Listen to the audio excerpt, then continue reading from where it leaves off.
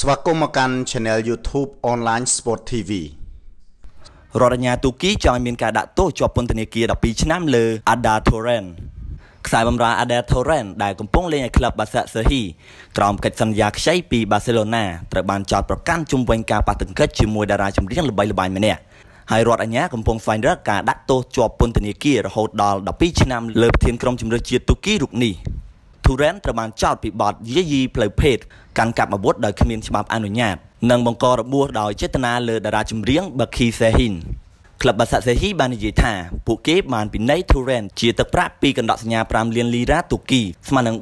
431,000ដុល្លារអាមេរិកចំពោះហេតុការណ៍ដែលបានកើតឡើងនោះក្លឹបបាសាសេហ៊ីចេញសេចក្តីថ្លែងការណ៍ថា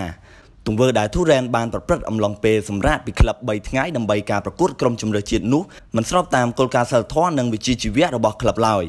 ទោះយ៉ាងណាក្លឹបបាសាសូហ៊ីថា Turen នឹងបន្តកាតព្វកិច្ចបាល់ទាត់អាជីពរបស់គេបន្តទៀតរហូតដល់មានសេចក្តីសម្រេចផ្លូវការពីតុលាការ សូមរំលឹកថាអតីតកីឡាករ Galatasaray និង Atletico Madrid វ័យ31ឆ្នាំខាងលើត្រូវបានកោះហៅទៅប៉ុស្តិ៍ប៉ូលីសសប្តាហ៍មុនដើម្បីធ្វើសេចក្តីរៀបរាប់អំពីហេតុការណ៍ដែលបានកើតឡើងនៅក្នុងក្លឹបរាត្រីនៅទីក្រុង Istanbul ដែលបណ្ដាលឲ្យតារាចម្រៀង Sahin បាក់ខ្ទង់ច្រមុះចំណែកលោក Sahin ក៏ត្រូវបានរដ្ឋអាជ្ញាចោទនិងប្រឈមនឹងការជាប់ពន្ធនាគាររហូតដល់2ឆ្នាំផងដែរ។ គួរដឹងដែរថា Turen មិនទាន់បានលេងនៅឡើយទេក្នុងរដូវកាល2018-2019នេះដោយសារជាប់បម្រាម16ប្រកួតដោយសារច្រើននឹងប្រើពាក្យសម្ដីបំពានលើអាញាកណ្ដាលខ្សែបន្ទាត់ចុងរដូវកាលមុន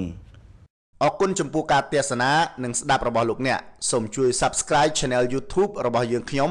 Online Sport TV